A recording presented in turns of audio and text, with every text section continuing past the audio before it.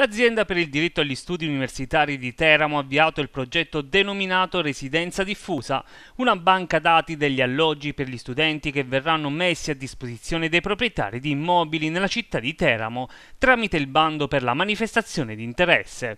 Per dare seguito a questa iniziativa il CDA dell'ADSU Teramo ha trasformato lo sportello ricerca alloggi in una sorta di agenzia immobiliare gratuita per favorire l'incontro tra domanda e offerta. La legge non fornisce una definizione di residenza diffusa. Esistono eh, delle prassi, de- degli esperimenti che sono stati fatti in passato, in, in Puglia per esempio, o anche nelle Marche.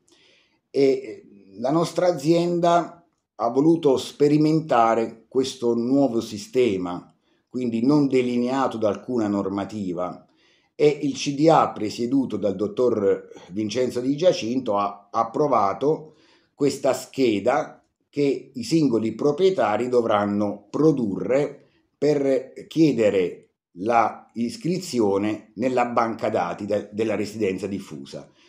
E l'obiettivo qual è? Dare garanzie e sicurezza ai ragazzi offrendo dei, degli immobili che siano valutati dall'azienda i singoli contratti di locazione saranno comunque sottoscritti dagli studenti per consentire ai proprietari la possibilità di accedere al regime fiscale cedolare secca, che diversamente sarebbe escluso.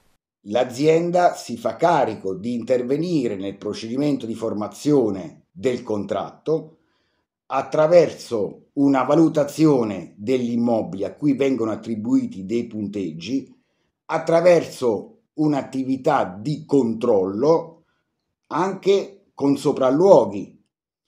E quindi vi è uno sviluppo rispetto allo sportello ricerca alloggi che era stato già attivato tanti anni fa e che sostanzialmente era una mera agenzia immobiliare gratuita che favoriva l'incontro tra domanda e offerta ma non interveniva nel procedimento di formazione del contratto.